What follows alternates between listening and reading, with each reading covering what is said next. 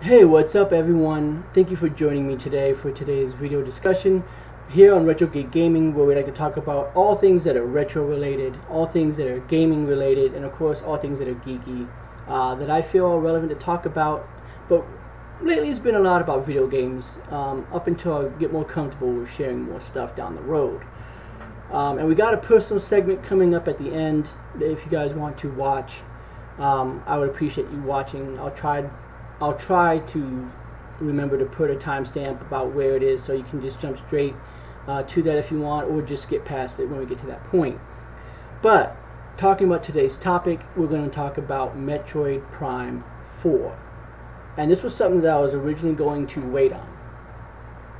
You know, because I wanted to sort of wait for this Nintendo Direct.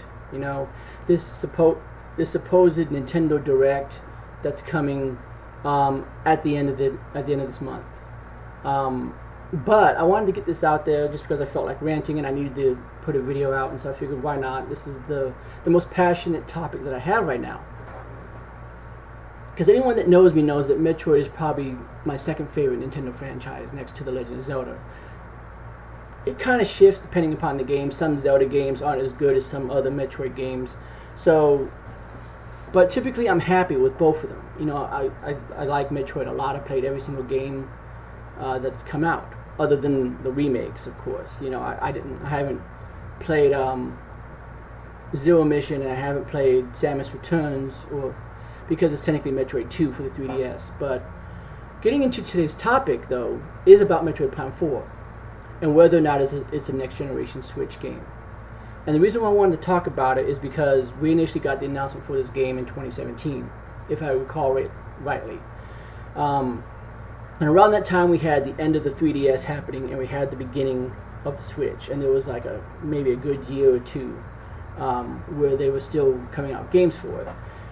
And I remember, I think it might have been in 2017, where they had that Nintendo Direct, where they talked about Metroid Prime 4 is being developed for the Nintendo Switch. And it showed the little blue clouds, and it made the four, and it was really cool looking. And it's like, oh, okay, cool. Metroid Prime 4 is coming. That's awesome. I love the Prime series, other than 2. 2 was a little weak. Um, but if you count Federation Force, since it is technically a Prime game, then, you know, Federation Force is, is my least favorite Prime. But, that being said, we also got the announcement for the 3DS Samus that I just spoke on. You know, Metroid Samus Returns, which is just a a remake of Return of Samus for the Game Boy. Um, and it's very it, it played very much like Dread does, uh, which is which is great. But getting into what I wanted to talk about, that's been five years. You know um, I'm not trying to say that they wouldn't because again it's been handed away from Bandai Namco and handed back into retro. But that's all that we've gotten was an announcement that yes it's being redeveloped by retro studios it's going back to them. How much of the assets did, did they keep? Is it from the ground up? We don't know all I know is that since Metroid Prime 4 got announced, we've had two Zelda games come out. Well, not two Zelda games, two Metroid games. Samus Returns for the 3DS and Metroid Dread. So Mercury Mercury Steam or whoever it is that um, that made those games, no disrespect, I can't remember your names off the top of my head right now, but they came out with two Metroid games. And granted, they're, they're 2D games. You know, they're 2D side-scrolling um, Metroid games. So maybe it's not nearly as much work as a full-blown 3D game, especially in the first person. But you've had five years, and there's again no no announcement on this. But also consider the fact that we've had Link's Awakening, we've had Skyward Sword HD, and by March we'll have Breath of the Wild 2. We've gotten a ton of Mario games. We've gotten two um, Mario Party games. We've you know three Zeldas. We've gotten all kinds of stuff. So where's Metroid Prime 4?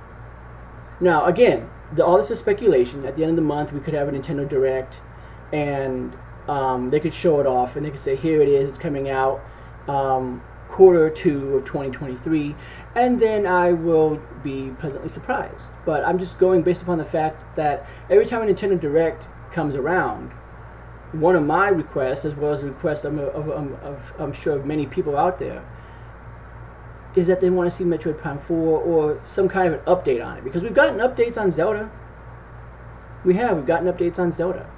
You know, they've said, oh, you know, it's we've had to delay the game. We're so sorry, but here's new footage. Here's an exact date. We know we, we know we initially said 2022. Now we're saying uh, by you know quarter one 2023. So unless it gets delayed again, we assume March 2023. But we don't have anything that's known past 2023, do we? We don't know if Metroid Dread is, uh, sorry, Metroid Prime 4 is there. We don't know any games that are coming out in 2023. So hopefully this, this direct that comes out will change that. And I believe I spoke on that. Um, as far as I'm not expecting Metroid Prime 4 to be there, just because I think that that's going to be a next generation Switch game at this time. But what do you guys think? Do you think it's going to be a next generation Switch game at this point, where it's going to be sort of like, or maybe they can do like a Breath of the Wild, thing where it's like it's on the Switch and the Switch 2. You know, but I guess it's all dependent upon what Nintendo does, whether they're just going to come out with just a 4K Switch and it's in the same family with the same chipset, or if it's a completely revamped, more capable, more powerful system, which is what I would like to see. I'd like to see a more capable, more powerful system that can blow my mind as far as this is what Metroid Prime 4 looks like, and it's worth the wait. I think it's going to be worth the wait anyway because I, I just enjoy playing Metroid altogether. I had a real good time with Dread, but I'm just saying that in the time that they announced officially that Metroid Dread 4 was in development, they snuck in Dread. And they launched it within three or four months. So I'm confident that whenever they show off Metroid Prime 4, it's going to be out within a year. Six months. Nintendo is usually not that kind of company. But they have done it before. You know, we've seen Platinum Games announce Bayonetta 3, and then we went probably two or three years with nothing on it until November of last year, or September, whenever that fall direct was.